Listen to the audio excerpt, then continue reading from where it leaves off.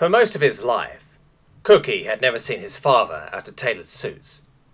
To be seen in anything but the height of fashion would be nothing more than dishonourable to the family name. Sure, they weren't related to those Kennedys.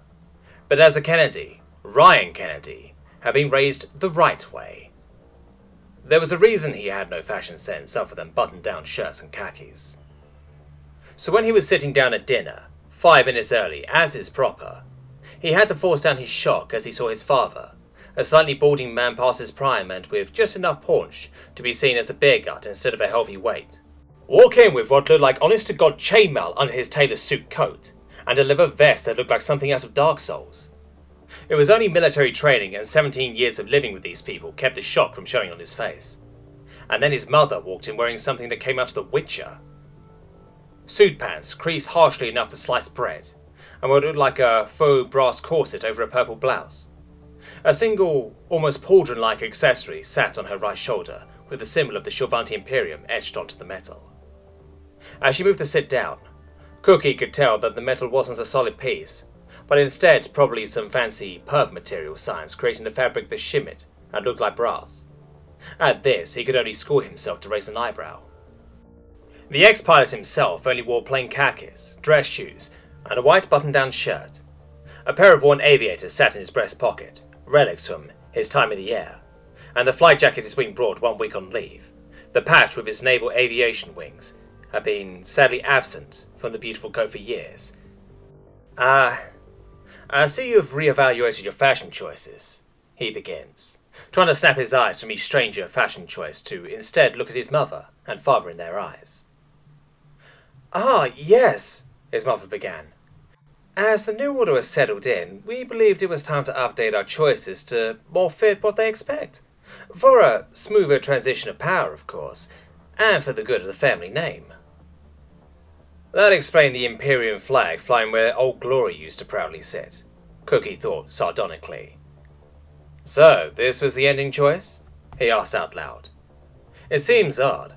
I don't believe I've seen anything like it outside of propaganda pieces I see occasionally. Your mother and I have been informed from a good source that such clothing is considered high fashion in the Imperium. We merely added a human touch to it. We have encouraged others in our group to adopt the same. We have already been approached for positions on the regional council due to our efforts, Cookie's father stated proudly. No matter what, our family name will be remembered. As traitors, Cookie thought. I have something to say as well, then. I have made the decision to join the Imperium's patrol. I'm shipping out to training at the end of the week. To anyone else, the announcement was met with no reaction. But to someone who had grown up reading the micro expressions in these people's faces, and who had made a name for himself recognizing the roundels of jets at distances of kilometers, it was like the pair had dropped their jaws in shock. He barely suppressed a smile, and they knew it. Are you? I mean, of course. I'm glad you are doing your part to further the Kennedy name. It is good you have joined us in embracing the Imperium. We shall be a guiding light for those less fortunate to not follow in our path as quickly. In fact, we gave our support for furthering Shorvanti control over the healthcare system just this week, his mother said, before she and his father began explaining just how accomplished they were being, and how it would be so much nicer if their eldest son would get involved. Less fortunate, Cookie scoffed. How quickly your tune changed. A couple of years ago when you were all for repealing Acre. Cookie chewed them out, letting them brag as he ate his food.